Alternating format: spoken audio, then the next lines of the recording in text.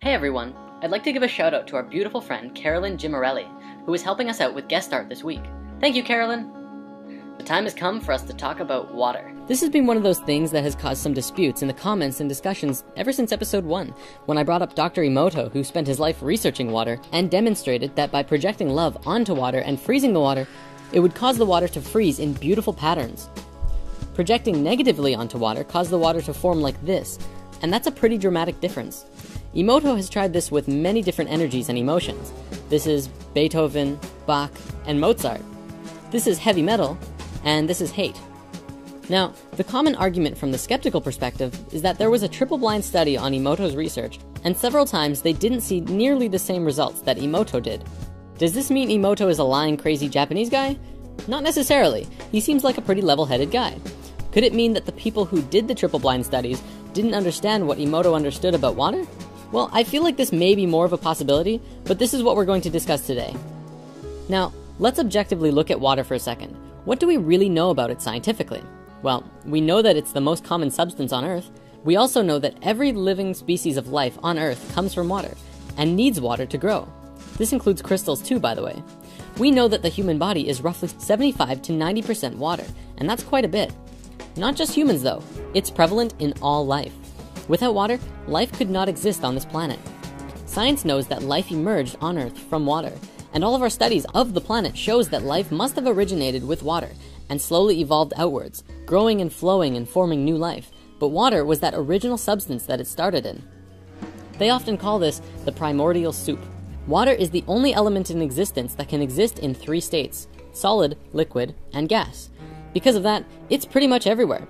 Water doesn't just flow in oceans, lakes, and rivers, but it flows through the air. Those clouds are nothing but water. It's also in abundance in the North and South Poles. What else do we know about water? Well, it's the only element that expands when it freezes and contracts when it heats. Every other element on the planet does the opposite, which science today cannot explain. Scientists have also discovered that water is capable of creating an immense amount of pressure, either through freezing the water or even in life. In a seed, for example, it reaches 400 atmospheres of pressure at the point of germination. This is why a plant shoot can break through asphalt with ease. Why does water have the highest surface tension of all liquids? Why is it that it's the most powerful solvent on Earth?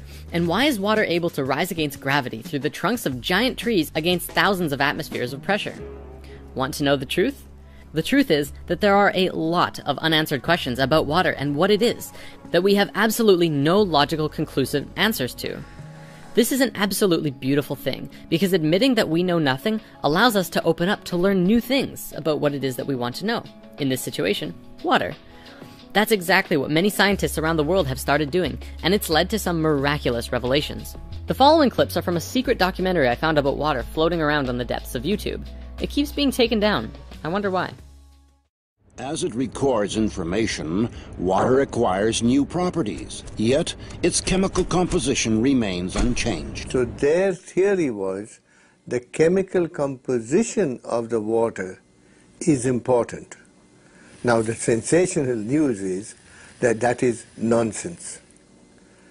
The structure of water is much more important than the chemical composition. The structure of water means how its molecules are organized. We can see how water molecules join together into groups. These are called clusters.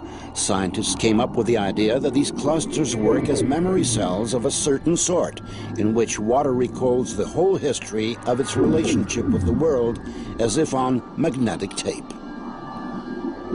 People don't think when you turn on the light, the water is changing.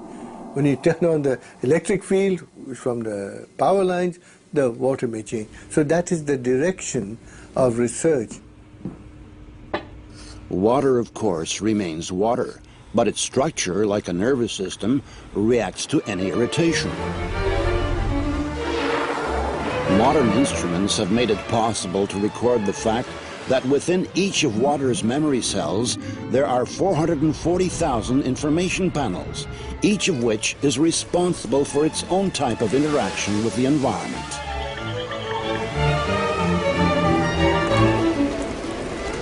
If you consider a cluster as a group of specific molecules, um, then it can survive only a short amount of time. But if you consider it as a structure whereby molecules can leave and other molecules come in, the cluster can last effectively uh, for a very long time. The stability of the cluster structures confirmed the hypothesis that water is capable of recording and storing information. It may be the single most malleable computer, which can, that it's like a computer memory. It's the memory of information. We must know how it is arranged.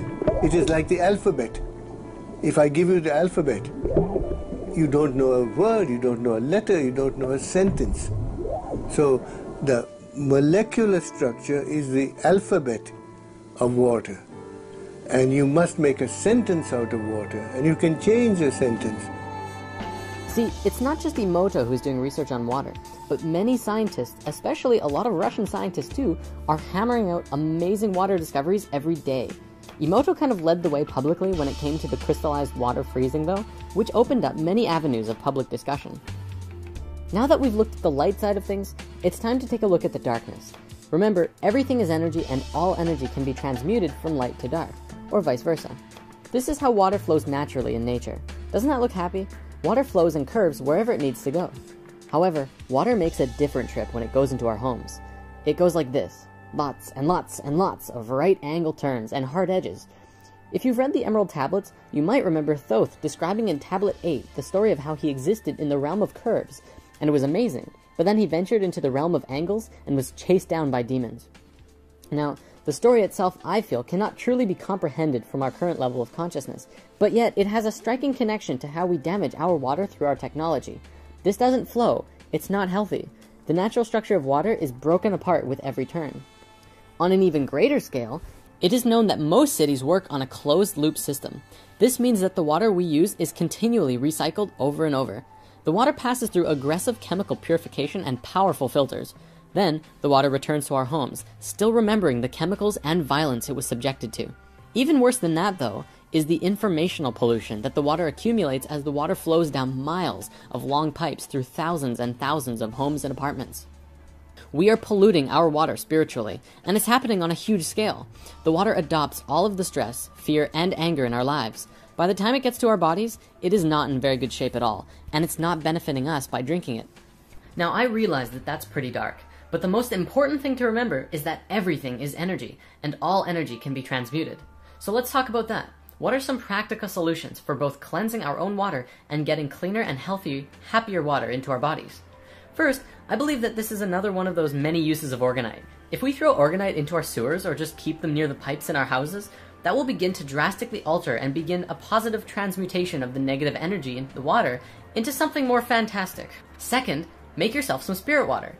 Since we discussed spirit water and crystals part 2, many individuals have written in to tell how they are no longer drinking coffee in the morning because they are putting crystals in their water before they go to bed and having a healthy, fresh glass of charged and vitalized water before their day instead. By bringing that healthy energy into your being, you're able to use that frequency and make yourself healthier and think clearer, and bring more high frequency and happiness into your life and all those around you, which in turn will spread more love. If our ancestors were able to make healing water using silver jars, what's to stop us from doing it too? Third, I think it would be amazing to do a weekly water meditation. Every Sunday, I'm going to go into meditation and put my intention and focus on healing and rejuvenating the water of the planet. It doesn't have to be at a synchronized time, we'll just say at some point on Sundays. You can work on transmuting the water in your body, or in the water flowing through your house, or for the whole planet. It's up to you, and every meditation will count, because you're setting your intention and projecting your consciousness that which you desire. And finally, be grateful for the water you drink. Here's another clip I'd like to show you. Dr. Emoto has conducted another interesting experiment. He placed rice into three glass beakers and covered it with water. And then every day for a month, he said, thank you to one beaker. You're an idiot to the second. And the third one, he completely ignored.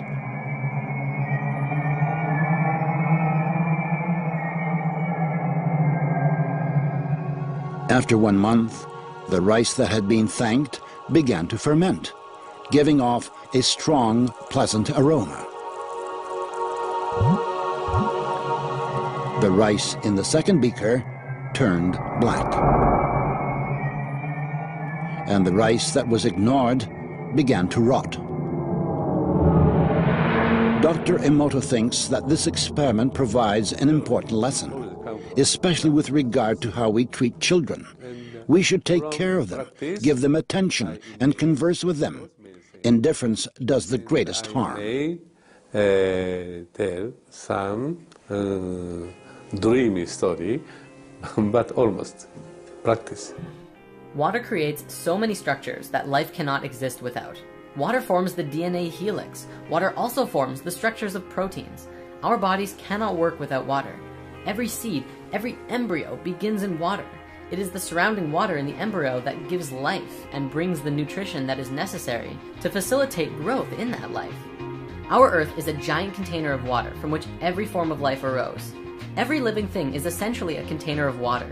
Just like a piece of art that has not yet been sculpted by an artist in a clump of clay, within the water contains every infinite possibility for life within it.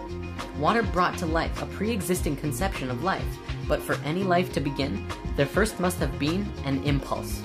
Every species of living being constantly strives toward its own perfection, and it all came from the same original consciousness, the same source. The final thing I want to bring up before we conclude this week's discussion is a very cosmic analogy. Without water, life on Earth could not exist. The only other element that is absolutely necessary for life is the sun. Without the sun, we could not have life, and in a poetic and beautiful way, this is the cosmic father and mother of life on Earth. Think about it. In biological reproduction, you need a man and a woman. The male provides the seed, and the female provides the egg. And together they do a dance and form new life. The sun is the male aspect, bringing the cosmic life force energy to Mother Earth. Mother Earth is, of course, the mother, providing the egg where the new life will grow. And water could be likened to the placenta from which all life grows in. The surface of the earth where life grows is the womb for the life on the planet. As above, so below. Mother, father, child equals earth, sun, new life.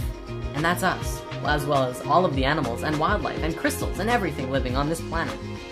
Modern science and society is relatively skeptical, to say the least, of the messages from water. But when you look at it as a whole, I feel that Emoto's work is just scratching the tip of the iceberg when it comes to understanding water. To look at these frozen water crystals and brush it off as a pseudoscience is incredibly dismissive of a much larger understanding about what water is and what role it plays in the evolution of life itself. It is life. It is you.